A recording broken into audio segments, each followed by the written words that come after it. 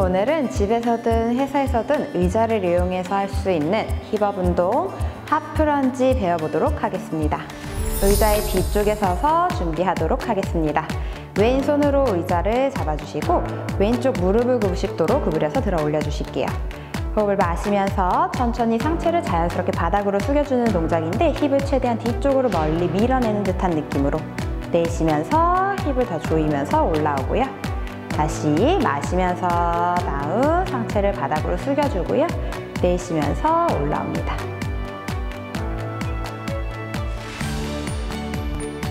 이때 허리가 너무 바닥으로 숙여지지 않게만 자연스럽게만 내려가 주시면 되시고 올라올 때는 허벅지보다는 내 힙을 더 집중해서 동작 반복해 주실게요.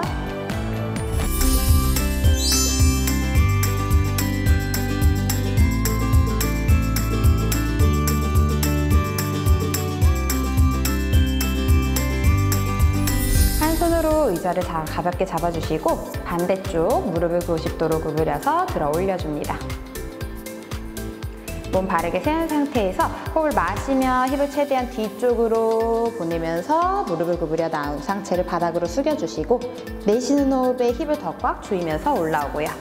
다시 마시면서 다음 내쉬는 호흡에 위로 동작을 하는 동안은 허리를 피면서 동작을 할 수 있도록 다시 마시고 내 엉덩이에 힘이 들어가는 걸 느끼면서 집중해서 동작 반복해 주실게요.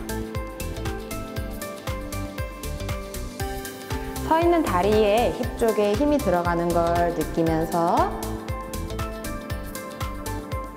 허리를 펴서 반복해 주십니다.